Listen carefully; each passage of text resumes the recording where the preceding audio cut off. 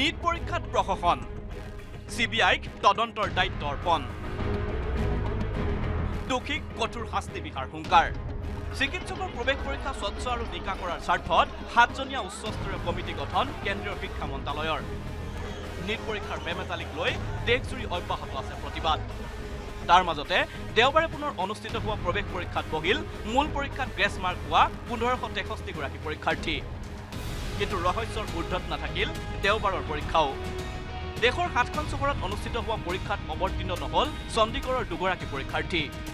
দুগৰাকী পৰীক্ষাৰ্থীৰ বাবে বিশেষভাৱে স্থাপন কৰা পৰীক্ষা কেন্দ্ৰত হামিয়াই হিকটিয়াই বহি থাকিব লগা হ'ল নিৰীক্ষক। বিপৰীতে দেশজুৰি প্ৰতিবাদৰ পিছত অপসাৰিত হ'ল নেশ্যনেল টেষ্টিং এজেঞ্চিৰ সঞ্চালক প্ৰধান সুবোধ কুমাৰ সিং। সুবোধ কুমাৰ সিঙৰ ঠাইত নতুন সঞ্চালক প্ৰধান হিচাপে দায়িত্ব লৈছে প্ৰাক্তন আই এ এছ বিষয়া প্ৰদীপ সিং খাৰোলাই। নিট পৰীক্ষা স্বচ্ছ আৰু নিকা কৰাৰ লক্ষ্যৰে ইছৰোৰ প্ৰাক্তন অধ্যক্ষ ডক্টৰ কে ৰাধাকৃষ্ণনৰ নেতৃত্বত শিক্ষা মন্ত্ৰালয়ে গঠন কৰিছে সাতজনীয়া উচ্চস্তৰীয় কমিটি। কমিটিত আছে কেন্দ্ৰীয় হায়দৰাবাদ বিশ্ববিদ্যালয়ৰ উপাচাৰ্য অধ্যাপক বি জে ৰাও আৰু এইমছৰ প্ৰাক্তন সঞ্চালক ৰণদীপ গুলেৰিয়া। নেশ্যনেল টেষ্টিং এজেঞ্চিৰ কাৰ্যদক্ষতা বৃদ্ধি আৰু গোপনীয়তা ৰক্ষা সন্দৰ্ভত সংস্কাৰমুখী পৰামৰ্শ দিব সাতজনীয়া কমিটিয়ে। দুমাহৰ ভিতৰত কমিটিখনে দাখিল কৰিব প্ৰতিবেদন। শনিবাৰে চি বি আই তদন্তৰ দায়িত্ব অৰ্পণ কৰাৰ সমান্তৰালকৈ মুন্নাভাইৰ সন্ধানত দেশজুৰি চলিছে অভিযান। ইতিমধ্যে জালত পৰিছে ছলভাৰ গেঙৰ ঊনৈছটা খলনায়ক পৰীক্ষা মাফিয়াৰ সন্ধানত বিহাৰ ঝাৰখণ্ডৰ পিছত মহাৰাষ্ট্ৰত হেনচকু তদন্তকাৰী আৰক্ষীৰ।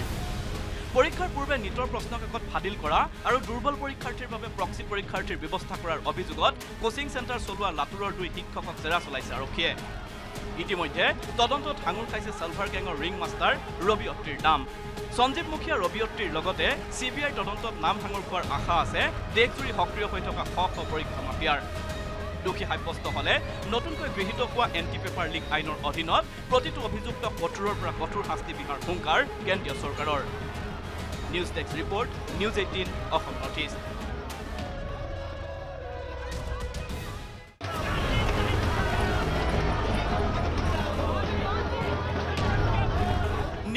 পৰীক্ষাত প্ৰশাসন। চি বি আইক তদন্তৰ দায়িত্ব অৰ্পণ। দোষীক কঠোৰ শাস্তি বিহাৰ হুংকাৰ। চিকিৎসকৰ প্ৰৱেশ পৰীক্ষা স্বচ্ছ আৰু নিকা কৰাৰ স্বাৰ্থত সাতজনীয়া উচ্চস্তৰীয় কমিটি গঠন কেন্দ্ৰীয় শিক্ষা মন্ত্ৰালয়ৰ। নিট পৰীক্ষাৰ মেমেটালিক লৈ দেশজুৰি অব্যাহত আছে প্ৰতিবাদ। তাৰ মাজতে দেওবাৰে পুনৰ অনুষ্ঠিত হোৱা প্ৰৱেশ পৰীক্ষাত বহিল মূল পৰীক্ষাত গ্ৰেছ মাৰ্ক পোৱা পোন্ধৰশ তেষষ্ঠিগৰাকী পৰীক্ষাৰ্থী। কিন্তু ৰহস্যৰ ঊৰ্ধত নাথাকিল দেওবাৰৰ পৰীক্ষাও। দেশৰ সাতখন চহৰত অনুষ্ঠিত হোৱা পৰীক্ষাত অৱতীৰ্ণ নহল চণ্ডীগড়ৰ দুগৰাকী পৰীক্ষাৰ্থী। দুগৰাকী পৰীক্ষাৰ্থীৰ বাবে বিশেষভাৱে স্থাপন কৰা পৰীক্ষা কেন্দ্ৰত হামিয়াই হিকটিয়াই বহি থাকিব লগা হ'ল নিৰীক্ষক। বিপৰীতে দেশজুৰি প্ৰতিবাদৰ পিছত অপসাৰিত হ'ল নেশ্যনেল টেষ্টিং এজেঞ্চিৰ সঞ্চালক প্ৰধান সুবোধ কুমাৰ সিং। সুবোধ কুমাৰ সিঙৰ ঠাইত নতুন সঞ্চালক প্ৰধান হিচাপে দায়িত্ব লৈছে প্ৰাক্তন আই এ এছ বিষয়া প্ৰদীপ সিং খাৰোলাই। নিট পৰীক্ষা স্বচ্ছ আৰু নিকা কৰাৰ লক্ষ্যৰে ইছৰোৰ প্ৰাক্তন অধ্যক্ষ ডক্টৰ কে ৰাধাকৃষ্ণনৰ নেতৃত্বত শিক্ষা মন্ত্ৰালয়ে গঠন কৰিছে সাতজনীয়া উচ্চস্তৰীয় কমিটি। কমিটিত আছে কেন্দ্ৰীয় হায়দৰাবাদ বিশ্ববিদ্যালয়ৰ উপাচাৰ্য অধ্যাপক বি জে ৰাও আৰু এইমছৰ প্ৰাক্তন সঞ্চালক ৰণদীপ গুলেৰিয়া। নেশ্যনেল টেষ্টিং এজেঞ্চিৰ কাৰ্যদক্ষতা বৃদ্ধি আৰু গোপনীয়তা ৰক্ষা সন্দৰ্ভত সংস্কাৰমুখী পৰামৰ্শ দিব সাতজনীয়া কমিটিয়ে। দুমাহৰ ভিতৰত কমিটিখনে দাখিল কৰিব প্ৰতিবেদন। শনিবাৰে চি বি আইৰ তদন্তৰ দায়িত্ব অৰ্পণ কৰাৰ সমান্তৰালকৈ মুন্নাভাইৰ সন্ধানত দেশজুৰি চলিছে অভিযান। ইতিমধ্যে জালত পৰিছে ছলভাৰ গেঙৰ ঊনৈছটা খলনায়ক। পৰীক্ষা মাফিয়াৰ সন্ধানত বিহাৰ ঝাৰখণ্ডৰ পিছত মহাৰাষ্ট্ৰত হেনচকু তদন্তকাৰী আৰক্ষীৰ। পৰীক্ষাৰ পূৰ্বে নিটৰ প্ৰশ্নকাকত ফাদিল কৰা আৰু দুৰ্বল পৰীক্ষাৰ্থীৰ বাবে প্ৰক্সি পৰীক্ষাৰ্থীৰ ব্যৱস্থা কৰাৰ অভিযোগত কোচিং চেণ্টাৰ চলোৱা লাটুৰৰ দুই শিক্ষকক জেৰা চলাইছে আৰক্ষীয়ে। ইতিমধ্যে তদন্তত সাঙুৰ খাইছে ছালভাৰ গেঙৰ ৰিং মাষ্টাৰ ৰবি অত্ৰিৰ নাম।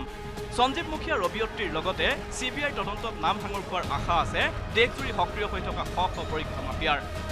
দোষী সাব্যস্ত হলে নতুনকৈ গৃহীত হোৱা এণ্টি পেপাৰ লীগ আইনৰ অধীনত প্ৰতিটো অভিযুক্ত কঠোৰৰ পৰা কঠোৰ শাস্তি বিহাৰ হুংকাৰ কেন্দ্ৰীয় চৰকাৰৰ। News desk report news eighteen Assam north east.